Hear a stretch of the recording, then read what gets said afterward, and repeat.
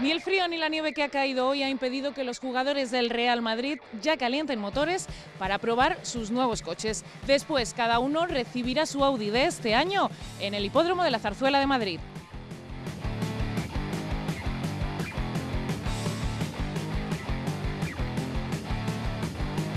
Equipados con las chaquetas rojas de la marca, los futbolistas dejaban por un día el terreno de juego y llegaban ansiosos al territorio 4 de Audi, donde les esperaba una gran gama de coches para su uso y disfrute.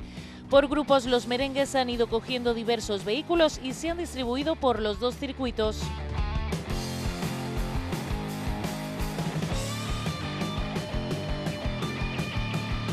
Los jugadores están probando en estos circuitos la tracción de sus coches y dentro de muy poco cada uno recibirá su propio vehículo.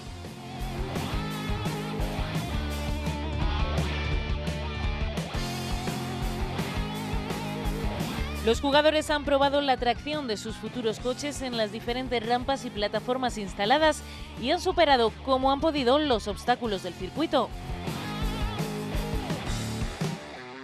Para finalizar, se han unido al presidente de Audi y a Florentino Pérez para recibir unos regalos de excepción elegidos por ellos mismos. El Q7, uno de los más demandados, escogido también por Casillas. Otros han preferido ser únicos, entre ellos Xavi Alonso con su S7, Ramos que se ha llevado un RS5 color pantera y Cristiano que ha elegido un RS6 gris Daytona.